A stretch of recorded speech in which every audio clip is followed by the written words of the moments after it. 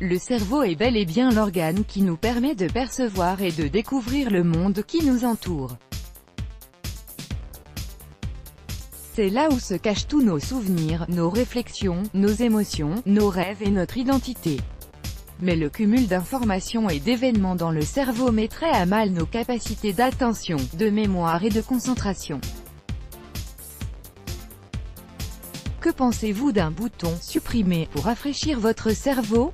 Le cerveau, ou plus précisément les neurones, nous permettent de créer de nouvelles habitudes, de nouveaux comportements et de vivre de nouvelles expériences. Le cerveau humain compte 100 milliards de neurones qui sont capables de créer une connexion et un réseau incroyablement complexe, avec parfois plus de 100 000 synapses par neurone.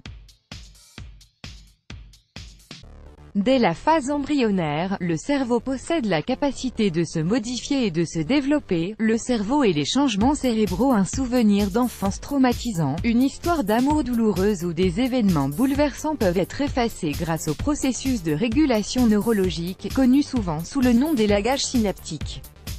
Ce processus permet de supprimer les connexions synaptiques inutiles, afin de laisser une place à de nouveaux souvenirs et événements et de traiter plus efficacement les informations. Le cerveau ressemble à une machine complexe où l'apprentissage s'opère par une stimulation des neurones. Cette machine continue durant toutes les années de vie à apprendre, s'organiser, se développer et s'adapter. Dans les trois premières années de l'enfance, des connexions illimitées se développent dans les circuits cérébraux. Pareillement, pour la période de l'adolescence, où le cerveau commence à jeter un grand nombre de connexions, qui deviendront plus rapides et accompagneront le jeune adolescent de la période d'adolescence à la période de maturité. Notre cerveau est comme un jardin les connexions synaptiques entre les neurones permettent le voyage des neurotransmetteurs comme la dopamine et la sérotonine. Dans ce jardin, les cellules dites gliales accélèrent le développement, d'autres dites microgliales éliminent les mauvais souvenirs et événements. En fait, les cellules gliales recherchent spécialement un marqueur, qui est la protéine C1Q. Quand les microgliales détectent cette protéine, elles se connectent et détruisent ensemble la synapse.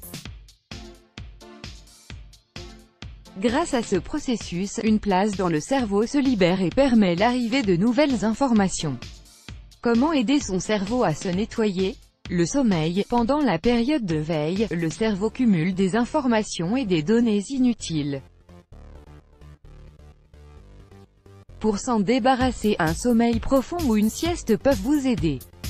Des chercheurs américains de l'université de Rochester ont découvert que le repos et le fait de dormir plusieurs heures chaque nuit permettent au cerveau de se débarrasser des toxines produites pendant les phases d'éveil.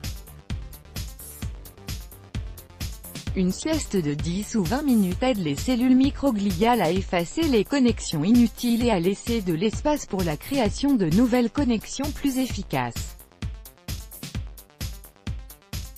La concentration, avec conscience, même en dormant, vous pouvez contrôler et choisir les informations et les éléments que votre cerveau décide de supprimer.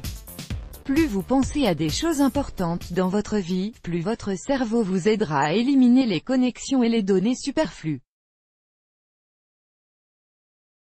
Il est parfaitement possible de reprogrammer et nettoyer son cerveau grâce à des exercices simples à faire quotidiennement. Par exemple, vous pouvez répéter constamment des phrases motivantes et positives. De cette façon, on se concentre sur le présent et sur l'amélioration du quotidien. Que faire devant le problème d'insomnie? Selon une enquête menée en 2009 par l'Institut du sommeil et de la vigilance en France, près de 30% des Français dorment moins de 7 heures par nuit. Les jeunes entre 25 à 35 ans dorment 7 à 8 heures et le temps de sommeil est inférieur à 6 heures 7 heures entre 35 et 55 ans. Une bonne hygiène de vie, la relaxation et d'autres techniques peuvent vous aider à combattre ce problème. Conseils techniques, limitez la consommation des excitants, comme le thé et le café évitez de manger gras le soir programmez une séance de relaxation de 10 à 15 minutes évitez de rester au Lit en cas d'éveil prolongé Respectez une routine de sommeil Prenez une douche le soir Favorisez les activités relaxantes comme la lecture Évitez de faire des siestes après 17h Let's block ADS, why